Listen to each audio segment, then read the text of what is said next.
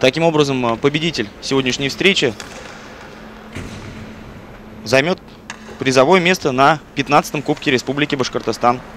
Ну, еще одна атака сейчас будет в исполнении этого звена. Энквист прорывается по флангу и практически удалось ему попасть в притирку со штангой, но Ховинин успел выставить щиток. Напомним, в прошлом сезоне мутищенцы выдали серию из нескольких побед подряд и вскочили в вагон уходящего поезда плей-офф, где в итоге уступили в первом раунде питерскому скалу. Опасный момент сейчас у ворот Атланты и Артем Гореев отправляет шайбу в ворота.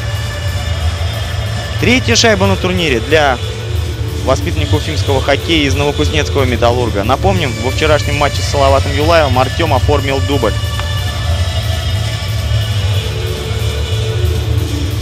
Приятно, приятно наблюдать за игрой уфимских воспитанников. Пусть они играют в других командах, тем не менее забивают и являются лидерами команд. Это радует, что все-таки уфимские игроки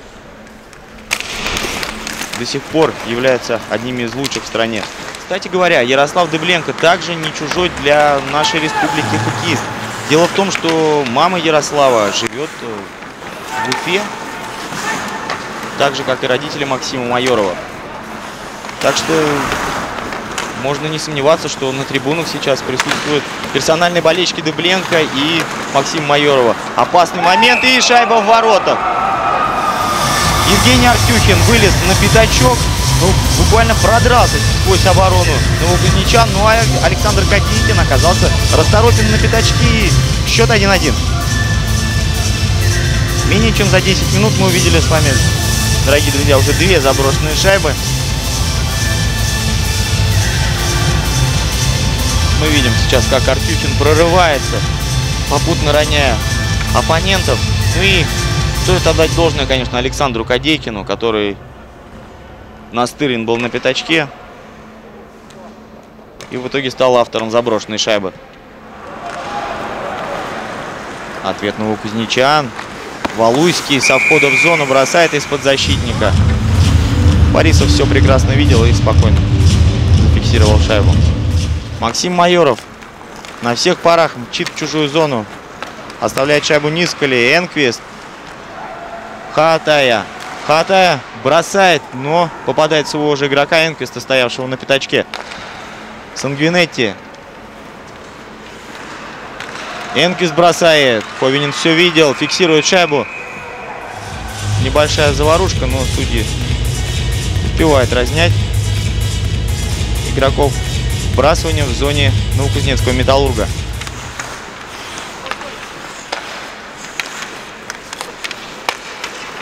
Расположились мытищенцы в зоне. Хатая.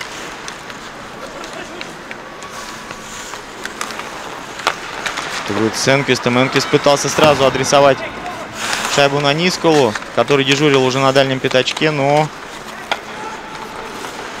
внимательны были оборонцы Новокузнецкого металлурга. А вот здесь вот все-таки Энквист огорчает Ховинина. Как же так? Новокузнецкие хоккеисты оставили одного на пятачке, ведущего форварда Атланта. Ну и, естественно, он легко расправился с голкипером Новокузнечан. 2-1. Не без участия уфимцев вновь в этой заброшенной шайбе принял непосредственное участие Максим Майоров. Именно его передача вывела Энквиста на ударную позицию. Ну и швед не промахнулся не удается пока закрепиться полноценно, расположиться в зоне Новокузнечанам. Вот только сейчас.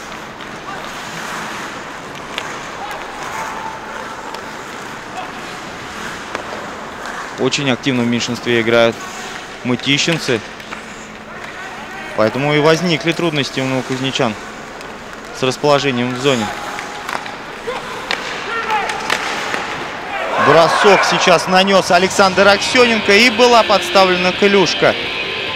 Если я не ошибаюсь, это Магомед Гимбатов удачно сыграл на пятачке. Еще 2-2.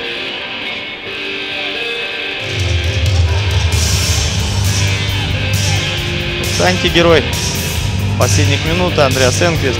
Удалился он на 2 минуты и воспользовались комфортным преимуществом новокузнечане. Как раз сейчас повтор заброшенной шайбы. Нет, однако же это не Магомен Гимбатов забросил, а Александр Аксененко, который набрасывал от синей линии. Шайба рикошетом через конек защитника Атланта заскочила в сетку. Алексей Косауров попытается сейчас переиграть Сергея Борисова. Капитан новокузнецкой дружины. Опытный мастер и в девятку отправляет он шайбу. Не мудрствуя лукаво. Бросил и попал.